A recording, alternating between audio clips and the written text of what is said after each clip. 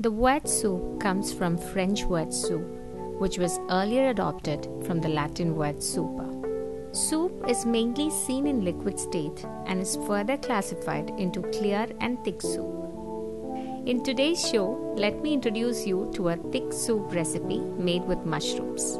All you need are mushroom thinly sliced half cup, butter 2 to 3 tablespoons, onions 1, garlic 3 to 4, coriander leaves 1 to 2 teaspoon, salt to taste, milk half cup, corn flour 1 teaspoon, water as required, pepper powder 2 to 3 teaspoon.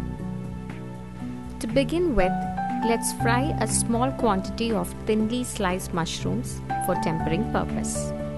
Add 2 to 3 tablespoon of butter into the pan. To this, add thinly sliced mushrooms and stir fry until the mushrooms have shrunk and darkened.